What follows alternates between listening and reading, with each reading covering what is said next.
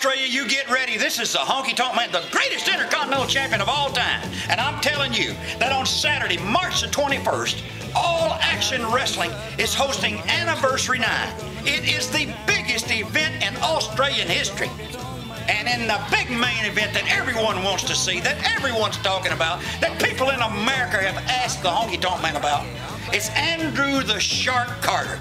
And he's taking on a legend in his own time, a legend before he was even ready, a WWE champion, Alberto Del Rio. And I was asked, Honky Tonk Man, who do you think is going to walk away from there victorious on March the 21st?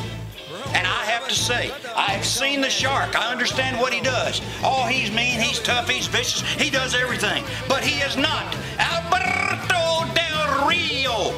Alberto Del Rio, MMA fighter, UFC fighter, tough guy in the WWE, can take on anyone. My prediction if I was there, would be the honky tonk man, but I'm not.